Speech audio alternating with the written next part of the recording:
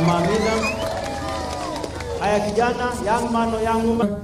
Eh, mimi naitwa Omar Kasim eh, ni kijana naishi hapa Majengo. Kitu gani inafaa, inafaa tufanye ili tuwe tunaweza tuka Mama hapa. salatu wasalamu ala Inaonekana tukikaribia kura, Wakenya wanaletwa pamoja, wakiambiwa ya kwamba tutaletwa pamoja, tutakuwa sawa, tutakuwa na amani, tushikane mkono. Inakuwa ni kama ni kama political gimmick ya kuwaleta Wakenya pamoja, kuambia kwamba kila kitu ni uhusiano mwema.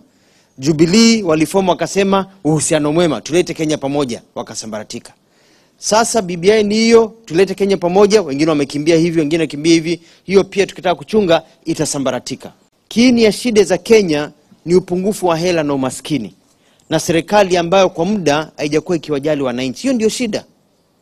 Hata tuwe na BBI kumi, hata tuwe na muungano wa watu kumi, hata wakuje vipi, tukitaka kutatua ile shida yetu ya upungufu wa hela, vijana hawana kazi, nchi ambao maskini ni wachache, mamilioni ndio maskini ni, ni wengi, matajiri ndio wachache. Tukitaka kutatua hiyo shida, tutakuwa tu tunafanya handshake every five years, tutakuwa tu ni handshake.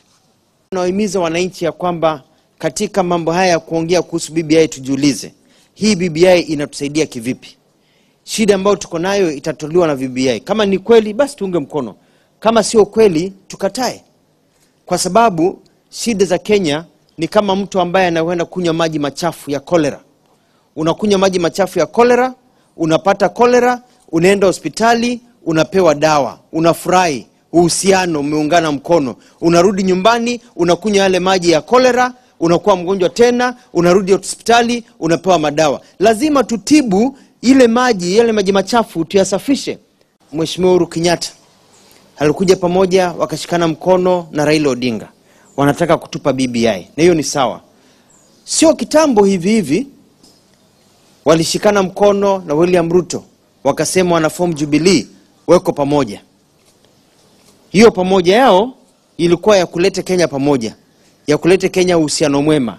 Hiyo mkutano wao wa kushikana mkono na William Ruto wajenge Jubilee ilikuwa ya kusema tuwe pamoja, ikasambaratika. Sasa wametushikana tena tena na Raila Odinga, tunaletewa BBI, tuwe na uhusiano mwema. Inaonekana hii mikutano yote ya kushikana mkono, shida sio Wakenya kuwa pamoja, kwa sababu ingekuwa ni kushikana tu tuwe pamoja, wangeshikana waendelee kuwa pamoja na Ruto.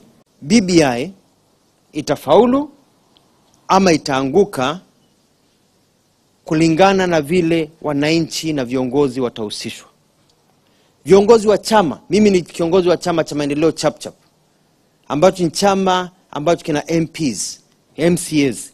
Kuna vyama vingine katika nchi yetu ya Kenya, wote tunapasa kuhusishwa, ndio tukae chini tuangalie ni vipengele vipi vya BBI vinafaa kwa wananchi.